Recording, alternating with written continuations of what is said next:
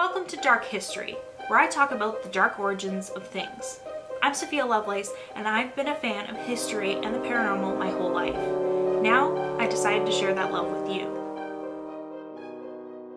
Lewis Carroll used various different sources of inspiration for his characters, including common expressions, nursery rhymes, household objects, and basically anything as inspiration. The phrase mad as a hatter was created in reaction to many hatters becoming ill from prolonged exposure to chemicals, including mercurous nitrate, which was used in curing felt. Prolonged to mercury vapors cause mercury poisoning. Hatters developed uncontrollable muscle tremors and twitchable limbs, called hatter's shakes. They also experience other symptoms such as distorted vision and confused speech. In extreme cases, victims would develop hallucinations and other psychotic symptoms. Victims would also develop suicidal tendencies.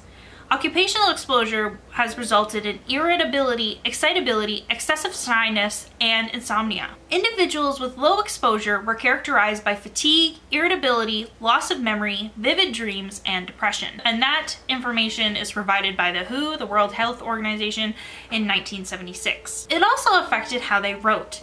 Handwriting can easily be identified from being of a hatter since it contains several identifiable characteristics. Mercury attacks the nervous system which causes drooling, hair loss, uncontrollable muscle twitching, and difficulties talking and communicating. Often, hatters would be mistaken for drunks, and this ailment was known as the Danbury Shakes. Danbury was the center of American hat making until the 1960s, when hats fell out of style. It was even nicknamed the Hat City, and at its peak, 5 million hats were produced in over 50 factories in Danbury. The term the Danbury Shakes were used to describe the bizarre behaviors of hatters in the area. Those who were involved in carroting were the most affected. Carroting involved washing animal furs with an orange-colored solution containing a mercury compound, mercury nitrate. The colorful solution facilitated the separation of fur from the pelt and made it mat together smoothly.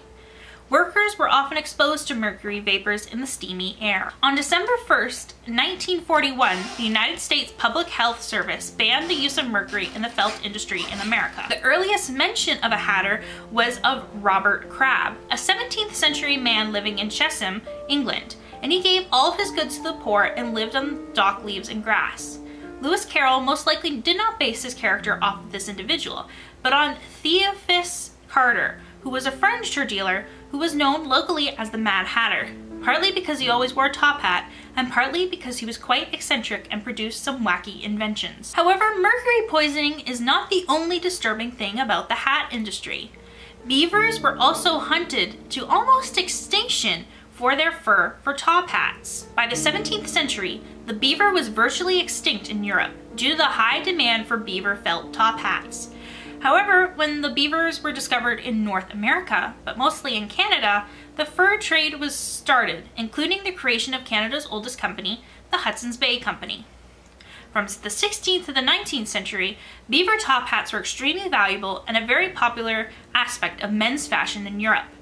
Not only were they valuable, but they were also treated as a family heirloom and it demonstrated one's occupation and status. Beaver hats were water propellant, which led to their popularity in England's rainy climate. Originally, Europe's hat making industry was centered in France, but in 1685, with the Edict of Nantes was revoked, over 10,000 hatters immigrated to England. France's hat making industry collapsed and England quickly became the center of production. It was said that if someone were to wear a beaver hat, that they would develop a remarkable memory and that even a deaf person would regain their hearing by wearing a beaver hat.